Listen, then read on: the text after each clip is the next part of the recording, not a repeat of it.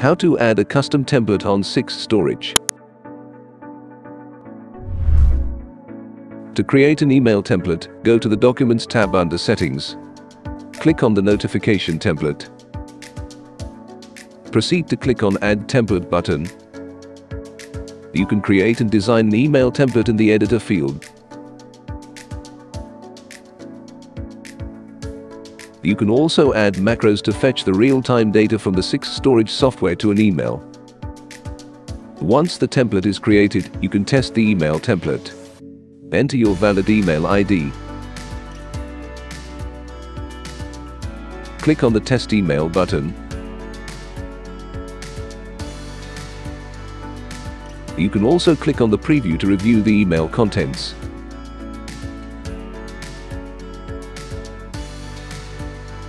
Once done, click on the Save button. You have successfully created a notification template.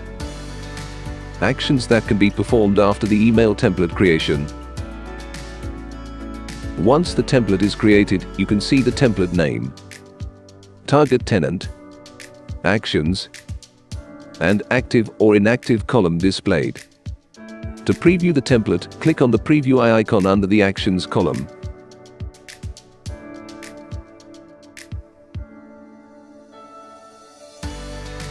To change the template category, click on the Change Template icon under Actions.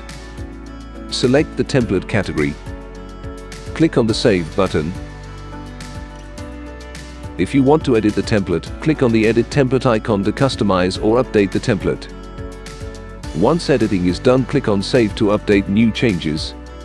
You have successfully updated the email template. Delete template. To delete a template, simply click on the delete icon and confirm the operation. The created template will be permanently removed from the 6Storage software. Active or inactive. If the email template is in the active status, then the email will be triggered to the tenants when the respective action is initiated. If the email template is in inactive status, then the email will not be triggered to the tenants when the respective action is initiated.